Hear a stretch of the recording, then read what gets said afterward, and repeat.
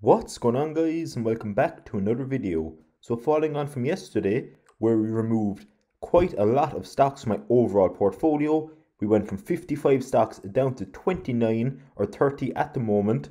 So today's video we're going to discuss what I'm doing with that excess cash that we now have in my portfolio due to selling those shares.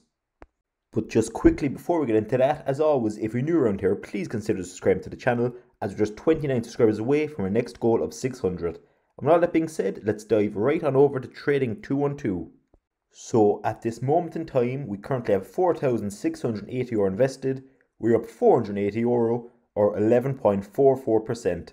Again, because we sold some stocks yesterday, we have 1,250 euro in free funds.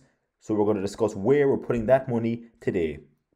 The first thing that I want to do today is I sold realty income yesterday in the real estate sector pie, but after some more consideration, I think I'm going to hold one company in the real estate sector. So for that case, we're going to just start off with a small position of about 48 euro and 65 cent, just to kind of round my free funds to 1200 euro then. So that's what we're going to do first.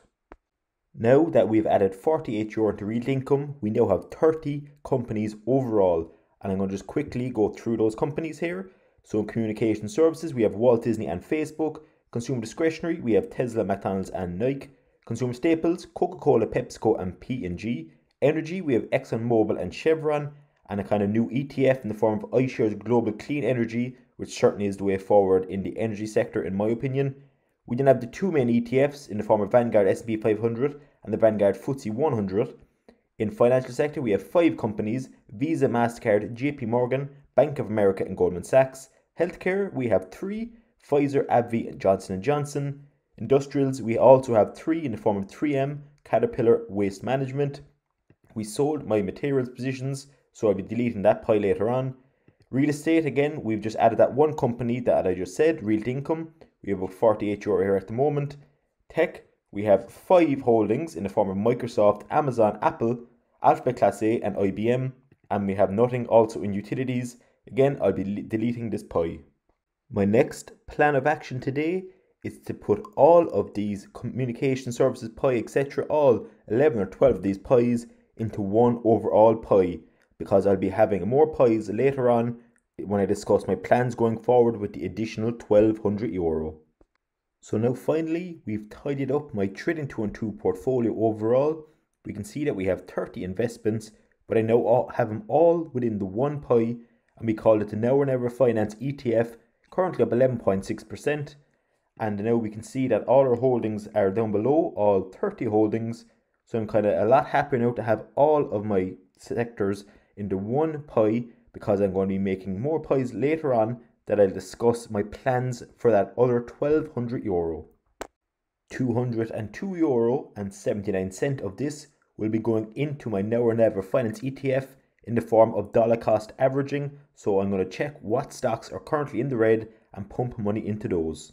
So what I've now done is invest that 200 euro as I said, and I put 100 into McDonald's, 30 into P&G, 20 into Waste Management, we put 22 into IBM and 30 euro into Pfizer. That now gives us 4,940 euro invested in this now or never finance ETF, which is up 492 euro or over 11%. So after thinking long and hard, I've decided that now that I have my own now or never finance ETF with kind of 30 more blue chip stable companies that I'm quite happy with and the diversification also in there, I then had an option or choice to make. I first of all was going to look into day trading and then perhaps swing trading but what I found that's really going to fit the bill because it's kind of incorporates both day trading, swing trading, and also ETF kind of style portfolio is ARK Invest. So what I'm going to start doing now as well, and the reason why I tidied up my own portfolio to put all my sectors into one pie is because I need to make room for five more pies. And I'll be copying or monitoring ARK Invest.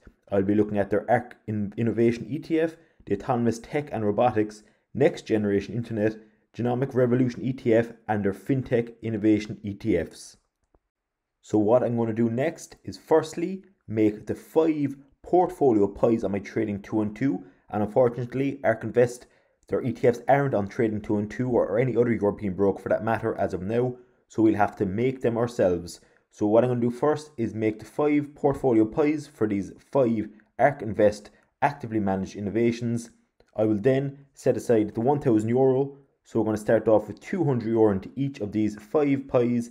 And again, because they're act actively managed, these will change nearly daily in a lot of cases. But what I'm going to do is firstly, I'm going to change or adjust my ARK ETFs based on a weekly performance basis. So I'll adjust probably either every Thursday, Wednesday, or a Monday because there's different reasons for that that I'll go into later on. But that's what I'm going to do first of all. And I then need to make a decision if I'm going to use all, let's say each of these ETFs have about 40 companies in each. Am I going to go through and add 40 companies per ETF? Or will I just stick with the top 10 holdings each of these ETFs at any given time?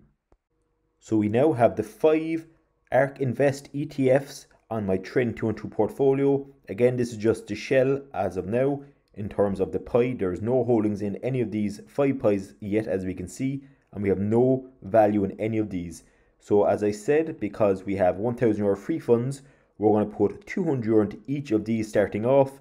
And the main idea here, here is to kind of track the ARK Invest because you can see, like for example, if you go into any of these ETFs, and if you scroll down and this this information is available to everyone so if you scroll down here we could even see their top holdings just in this ETF at the moment so for ARK Innovation ETF as of the 1st of the 4th so you can see here we can see all of their holdings their tickers market value their weighting per company and we can also see that there is 48 companies currently in this ETF so as I said earlier in the video as well we need to decide if we're going to take all 48 companies, that could make a lot of work in terms of every week adjusting all the weightings and buying and selling out of companies just like ARK Invest are doing.